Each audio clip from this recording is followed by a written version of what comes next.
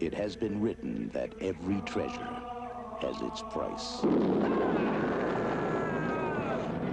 So it was for the stones of fire, hidden for centuries beneath the sacred mountain. Now the dream of this archaeologist and the plan of this madman are in the hands of the Falcon. He can release the fire. He can scale the heights.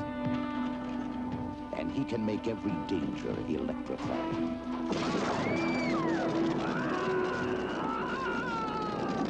Armed with two beautiful women, one for courage, the other for passion. Together, they will enter this unknown region of the world to uncover the secret, to steal the stones, to create the panic.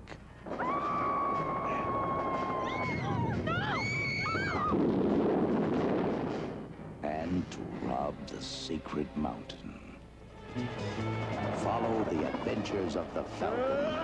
If you want it all, you have to risk it all. Robbers of the Sacred Mountain.